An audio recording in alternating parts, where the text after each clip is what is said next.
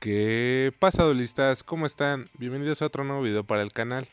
En este video les voy a mostrar un deck fun, un deck divertido, un deck para pasar el rato, no es meta, ni pretende serlo, ni mucho menos. Y bueno, este deck lleva dos eh, boxeador, dos sabia amazones, dos, digo, tres celta convertido, un medio cerrado, tres super apuro de cabeza, dos el guerrero volviendo con vida, dos muros de espejo, tres Meralmorph, eh, una maldición de Anubis y un torbellino de Taqua. Eh, si, si, no tienen alguna carta, si les falta alguna, pueden meter la, la nueva eh, contra la nueva carta de trampa que está en la caja más reciente que es contraataque medio ya que nos sirve como un muro de espejo por así decirlo entonces, pues las cartas que les hacen falta pueden meter contraataque medio o controlador de enemigos. Eh, la base del deck pues son eh, los monstruos. Si tienen otro boxeador, pues métanlo y saquen una sabia amazones. Y pues eso sería todo. Vamos a, a ver algunas repeticiones que guardé. Esta contra contra Yami Yugi. Si no me equivoco, esta fue contra un deck de, de mausoleo del emperador, como el deck que les traje el día de ayer. O el día de anter, no sé cuándo esté subiendo este video. Y la verdad, pues este deck eh, pues me dio resultados decentes. Digo, para hacer un deck de prueba, un deck fun para pasar el rato, pues está bien. Digo, para...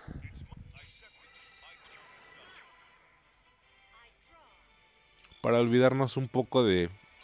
Del ojos rojos y de Fénix y de todo lo del meta actual. Aquí pues el, el efecto de, del boxeador es que cada que destruimos a un monstruo de nuestro oponente en batalla y lo mandamos al cementerio, le podemos poner un contador al, al boxeador. Este, durante durante cualquier turno, bueno, más bien durante nuestro turno podemos retirar eh, dos contadores y e o dos o tres, sí, dos, eh, dos contadores e invocar de modo especial desde nuestro deck un monstruo de tipo tierra. Pero bueno, para lo que nos importa el boxeador es para para ponerle contadores y que el boxeador no pueda ser destruido ni en batalla ni por efecto de trampas. Bueno, en sí de ninguna carta, no puede ser destruido en batalla, ni por efectos de monstruo, ni por efecto de mágicas, ni por efecto de trampas. Aquí pues me bajó a su a su invasor. Saqué mi, mi muro de espejo y mi Meralmorph.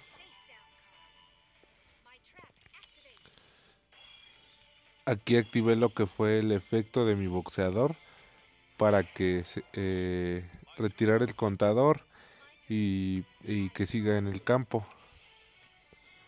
Yo no podía bajar monstruos porque sabía que tenía el golem de lava. Entonces, pues lo único que podía hacer era atacarlo.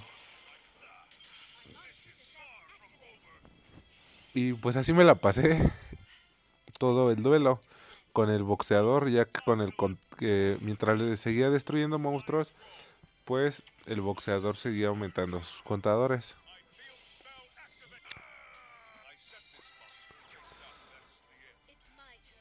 Aquí yo creí que había bajado otro monstruo, pero bajó al invasor. Activé el efecto del boxeador, lo que hice fue activar su providencia, pero el boxeador no se destruye, solamente le retiré un contador. Entonces, él ya, ya, no, ya no tenía, ya no le daban los puntos para, para poder invocar a algún monstruo fuerte y se terminó rindiendo. Eh, luego tenemos este otro duelo. Que si no me equivoco fue un... Un deck psíquico me parece. O un deck eh, de... Ojos rojos zombies.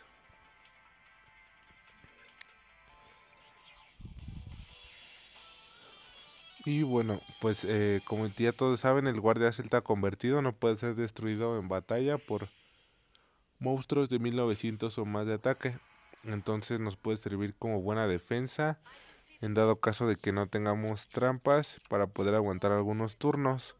Con la sabia amazones pues atacamos y le vamos destruyendo sus cartas boca abajo.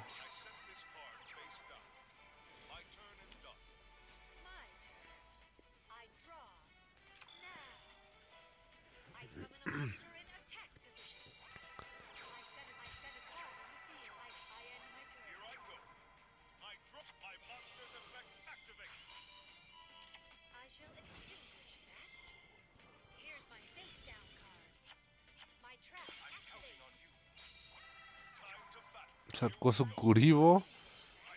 Pues yo con el con el Meralmorph ya la hacía. Activó super apuro, pero yo activé el mío y se resuelve el del el del duelista en turno. En mi caso yo estaba atacando, entonces se resolvió primero mi super apuro. Y aquí le pude haber destruido si tenía alguna carta seteada, lo pude haber hecho.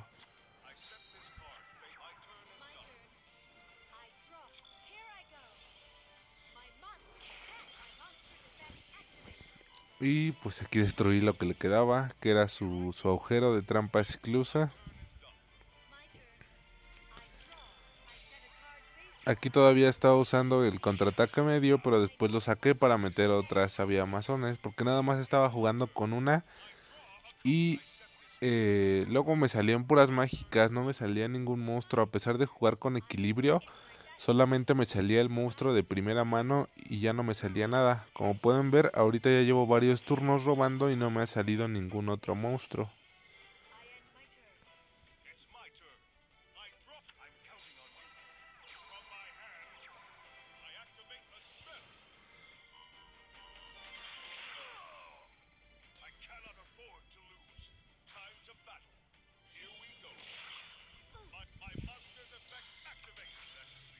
Lo bueno es que aquí podía revivir eh, a la sabia.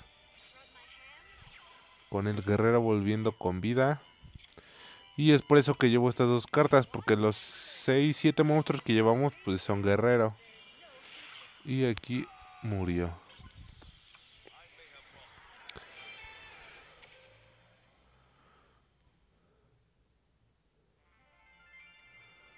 Vamos contra los hermanos Paradoja.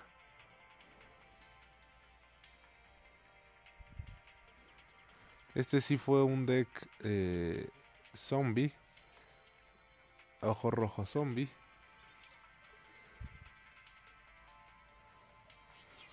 O más bien fue un deck zombie porque estaba usando Costón doble. Es que se me va el nombre. Se me fue el nombre.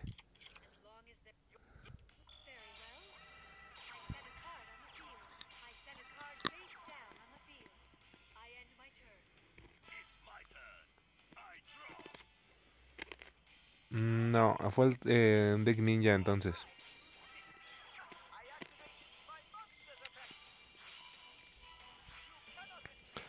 Aquí dejé que me atacara. Saqué a boxeador, usé eh, Meralmorph, se lo equipé. Destruí a su ninja. El efecto de mi boxeador se activa y el efecto de su ninja del dragón negro que era regresar a mi monstruo desterrado. Y pues aquí se termina rindiendo.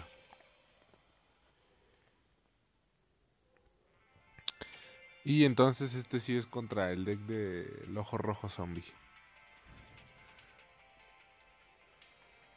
Estos duelos son de hace 20 minutos, más o menos.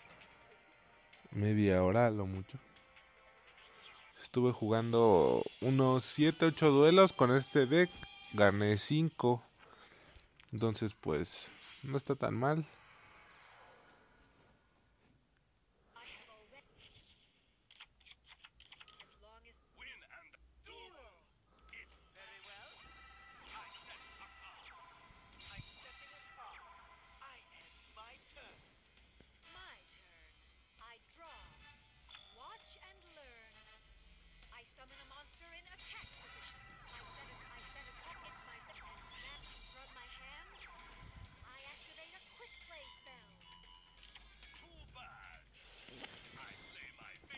Aquí me la aplicó porque desperdicié mi super apuro. Él usó su su torbellino de taqua.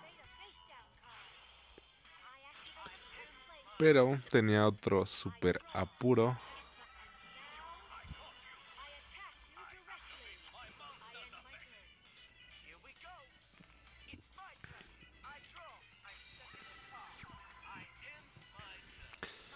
Y esto es a lo que les digo, o sea, luego no te sale ningún monstruo y es por eso que yo metí la, la otra savia.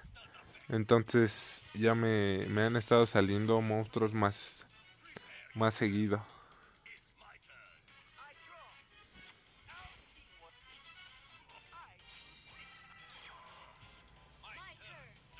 Desconozco porque uso usó su habilidad.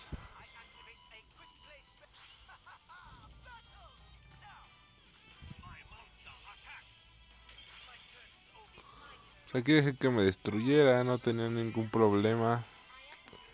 Porque pues él gastaba sus cartas y yo podía revivir, por así decirlo, al guardia celta convertido.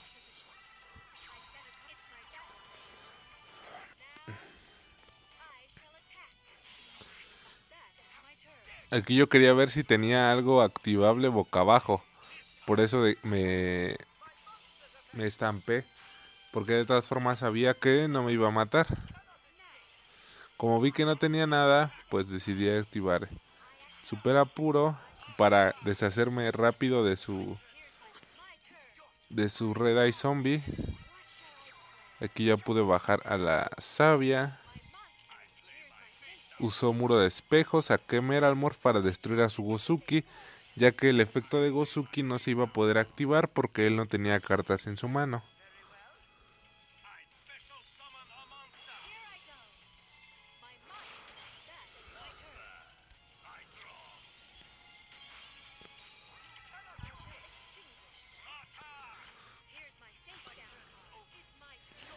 Y luego aquí lo que hice fue atacar primero con la savia para destruir lo que tenía boca abajo.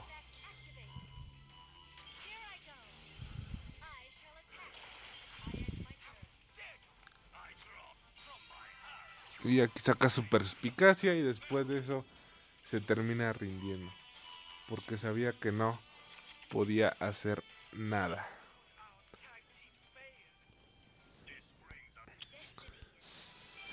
Y bueno chicos, como pueden ver es un deck eh, competitivo diría yo hasta cierto punto. Hay algunos decks a los que sí definitivamente no les puedo ganar como a Toon, a Phoenix y, y algunos contra los que va a tener complicaciones pero se les puede ganar como es este el de la estatua control o como los ninjas pero pues ahí por si lo quieren armar y pasarse un rato ameno, ahí yo les dejo yo les dejo este deck. Y bueno, esto sería todo por el video de hoy. Ojalá que les haya gustado, dejen su like, suscríbanse y ya saben, no olviden compartirlo. Eh, pueden dejar sus comentarios acá abajo, la mayoría los respondo, todos los leo. Pueden decirme qué deck quieren que suba. Y bueno chicos, esto sería todo. Hasta la próxima.